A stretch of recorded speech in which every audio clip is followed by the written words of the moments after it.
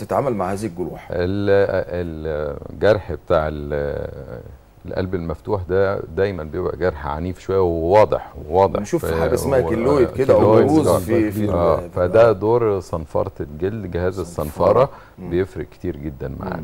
أي جرح عالي عن مستوى الجلد. بيبقى دور جهاز الصنفرة مهم جدا إن هو بيساويه على مستوى الجلد وبيضيع أثر ال- اللي هو بيبقى العين ما بيحبوش خالص إنه موجود في صدره كده هو جرح عالي وعريض زي ما حضرتك بتقول. فده دور الصنفرة إنما إن أنا أعمل له اكسجن إن شيله. أنا أشيله وأعمل له جرح تجميل ما بفضلش آه. مم. يعني ما في أماكن معينة ممكن مثلا لو جرح في البطن آه، جرح آه، بعد مرارة أو بعد زايدة ممكن نشيله ونعمله تجميل نشيل الجرح وريه نشيله. ونعمله آه. تجميل آه. إنما الجروح اللي على البون على العظم آه، نفضل إن إحنا نعمل لها صنف ده يخلينا برضو ندخل على أنواع الجروح. الجروح مثلا يعني أنا دلوقتي لما بيجي لي عيان جديد في عملية أو عيان في حادثة مثلا جديد هل هو الأفضل إن هو يتعمل؟ آه، الجرح ده يتعامل معاه؟ ويبقى كويس ولا ممكن أستنى عليه 3 4 أيام أو أسبوع وأخيطه تاني ولا إيه الحكاية؟ الحكاية دي برضو مش مظبوطة عند والله الناس. دي يا دكتور علاء بتعتمد على لو جرح زي ما بنقول عليه كلين ووند يعني جرح نظيف. آه. ده طبعا يتعمل تجميل من الأول وبيدي نتائج ممتازة جدا. آه. إنما لو جرح في الشارع في كان في ما, ما ينفعش إن إحنا نعمله كده. بننضفه أستأذن حضرتك في اتصال معانا. الأستاذ حمدين اتفضل. السلام عليكم. اتفضل. السلام. السلام اتفضل عليكم. عليكم السلام ورحمة الله وبركاته. ندى عايز اشيل أستاذ جراحه والنبي حضرتك. اتفضل معانا اتنين من كبار أساتذة الجراحة. اتفضل. إحنا معايا ابن 12 سنة. مم. بينزل دم باستمرار منين؟ من مناخيره امم وعملت تكون كتير. آخر حاجة رحت امبارح لدكتور أنف وأذن بيقول لي أنا عامل لك عملية جشط للشريان اللي في المناخير ويبدأ شريان جديد. فأنا صراحة اتخوفت من هذا الموضوع. آه. فتنصحني حضرتك بإيه؟ يعني في نزيف من مناخيره وتشخص من تشخص مناخيره بس. من مناخيره بس. آه. وقال لك عايزين نغير الشريان؟ لا ده أنا عامل لك قشط بماده كيماوية كده في المناخير آه. ويبدأ شريان جديد يطلع والكلام من ده. أنا مش مقتنع بهذا الكلام. تمام تمام. إيه رأيك في الكلام ده يا دكتور؟ شاف حضرتك بس. تمام. إيه رأيك في الكلام الشريان الجديد اللي بيطلع ده؟ ده هو الحقيقة طبعا لازم يتوجه لدكتور أنف واذن عشان يفيدوا أكتر مننا لأنه ده موضوع بيتهيألي خارج التخصص. آه، أنا سامع برضو إن هو مش فاهم من الدكتور كويس. آه. هو بيتعمل اشعه بالرنين المغناطيسي. آه. ده أساسي جدا على ال بس هو بيقول لك قشط وهيحط مادة هو مش كيميائية هو, هو قصد- شريان جديد. هيعمل curettage لا هو هو. هو كلام من الراجل الدكتور صح. آه. هو هيعمل curettage لل sinuses للجيوب الأنفية. فواضح إن في آه، التهاب مزمن في الجيوب الأنفية. خليه يعمل آه، بينزف شوية. أيوه بيعمل آه. شوية. فلازم يعني متضرر مقطعية يعني. وبيتعمل كده. هو بيتعمل بمنظار دلوقتي. تمام منظار. تمام تمام.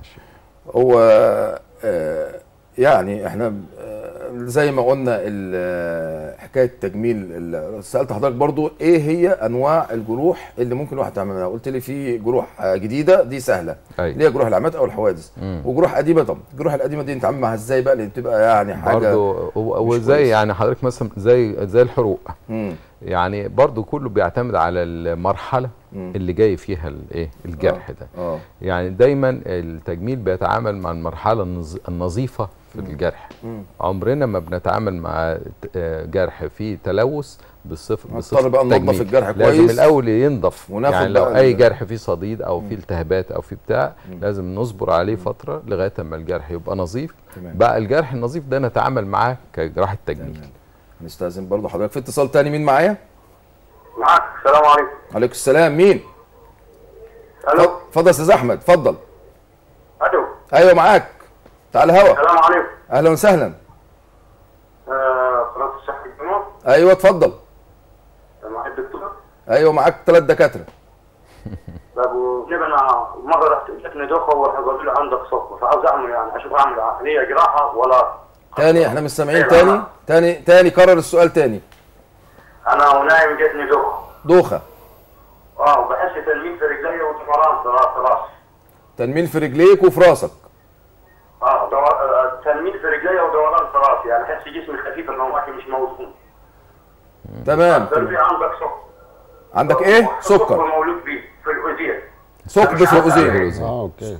ثقب في الاذين آه آه. تمام. فمش عارف أعمل إيه. ده الكرة في ناس ملعب. تقول لي آه، مش مهم يتعمل طول ما مولود بيه قلبي وناس تقول لي لازم يتعمل وزي كده. تمام. أنا هن... هنست... مش. عارف اغير العمل يعني أحس بحس زغلله في عيني. ودوخه وتنميل في رجلي احس طيب ماشي. آه، أحمد بيقول لك إن عنده ثقب في الأذين. ومش عامل له مشاكل الدوخة والتنميل في الأطراف والكلام ده بقى حضرتك لا هو ثقب في الأذين طبعا طالما هو وصل سنه كده واضح إن هو كبير يعني ما هوش آه، طفل صغير مم. لازم طبعا يتقفل الثقب ده آه. بس هو بيقولوا بيقولوا مولود بيه آه آه. طبعا مولود بيه لكن التنميل اللي في رجله ده ما ملوش علاقة بيه علاقه. بدون قد يكون عنده حاجة في العمود الفقري قد مم. يكون فعلا عنده حاجة في السكر أو حاجة من دي لازم آه. تتشاف لكن ما فيش علاقة ما بينهم. إنه يعني جاله تنميل في رجله وهو عنده ثقب في القلب. آه. لكن الثقب لازم يتعمل طبعا لازم يعمل موجات صوتية على القلب وتشاف شكل الثقب ده إيه نوعه وعامل إيه بالظبط. آه. والضغوط المختلفة في شرايين القلب وحجرات القلب عشان نقرر يعمل عمليه ولا لأ. آه. إنما الثقب ده برضو قلب مفتوح والله ويتقفل. لأ ممكن دلوقتي يتقفل بالقسطرة. يعني. في جهاز بيت- بتركب عن طريق القسطرة بيقفل الثقب دوت. بس بيبقى ليه طبعا يعني مواصفات انه ثقب اللي يتقفل بالطريقة دي. إذا ما نفعتش الطريقة دي بيتقفل بالجراحة. بيتح- بيتحط له رقعة ويتقفل. تمام. برضه في حاجات بت, بت يعني بتخلي الناس برضه كده إيه قلقانة شوية حكاية الدعامة أنا يعني ما فيش حد قابلته بصراحة في حياتي قال لي أنا إيه رحت رايح أركب دعامة وراجع أركب مع دعامة وكلام من. بس الرعب بقى من إيه؟ إن يقول لك إن الدعامة دي اتسدت إن الدعامة دي عايزة تتشال وتحط غير الكلام ده إيه ظروفه إيه؟ هو الحقيقة الدعامات طبعا في أنواع من الدعامات في الأنواع العادية وفي أنواع اللي هي الذكية اللي هي دراج اليوتد غالبا بيتحط ال- الذكية دي في مرضى السكر نبقى معرضين أكتر لإنه الدعامات تتقفل. وارد طبعا الدعامات تتقفل زي ما وارد الشرايين التاجية بعد الزرع تتقفل بنسبة قليلة الحقيقة بس ده وارد. ولكن يعني اللي أنا عايز أقوله إزاي تحمي نفسك من إن الدعامة ما تتقفلش؟ يعني أنت بعد ما ركبت الدعامة لازم تحافظ على نفسك لازم تظبط السكر بتاعك تظبط الضغط تظبط الدهون في الدم تبطل التدخين تماما لأنه معظم الناس اللي بيركبوا دعامات معظمهم بيبقوا بي- بتتسد نتيجة إن هم رجعوا تاني للتدخين. فالقصة ديت لازم يعني بعد ما يركب الدعامة يحافظ على نفسه. الأربع حاجات اللي قلناهم دول ياخد باله منهم ويعني الأدوية المصاحبة بقى لتركيب الدعامة دي؟ آه طبعا نسمع بن- عنها كتير برضه طبعا بندي أدوية بتعمل سيولة. في الدم علشان الدعامة ما تتقفلش. دوت بيبقى آه، في أدوية بتقعد بتفضل لحد سنة وفي أدوية بتفضل طول العمر زي الأسبرين. الأسبرين ده لازم يفضل عليه طول عمره. طيب يعني هم بقى يقول لك دعامة ولا توسيع بالبالونة انهي الأفضل؟ هو برضو على حسب الضيق شكله إيه وقد إيه فده ينفع له دعامة ولا ينفع له بالونة ولا ينفع له جراحة يعني ده لازم بيتحدد بعد القسطره التشخيصية. طب برضو اتكلمنا على ال- الأفضل للعيان اللي إحنا قلنا هيروح هيحس بألم في صدره ده يتوجه على طول لدكتور القلب. طيب يعني إيه المطلوب منه إنه يتعمل؟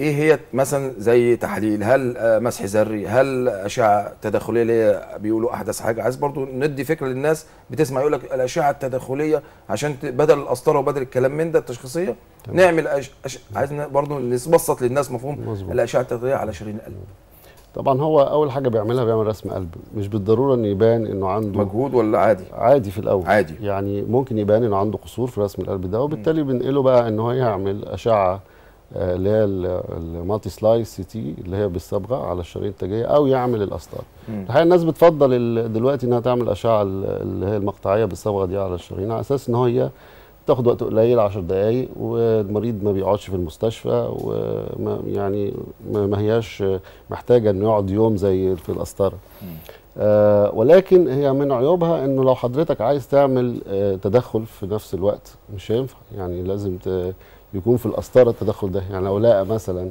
ضيق وهو بيعمل الأشعة ديت مش هيقدر يوسعه أو مش هيقدر يحط فيه دعامة. لازم يعمل برضو قسطره عشان يح- ي- ي- ي- يحط الدعامة ديت. ولكن هي بتنفع في إيه؟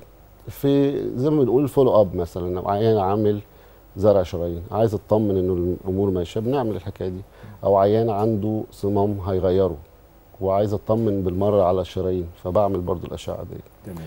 ولكن الأفضل طبعا لو هي في قصور واضح في رسم القلب أو في يعني في المسح الذري أو رسم القلب المجهود نعمل قسطره طالما في قصور خلاص. مم. تمام تمام. طيب آه، الدكتور طارق الأستاذ الدكتور طارق مصطفى.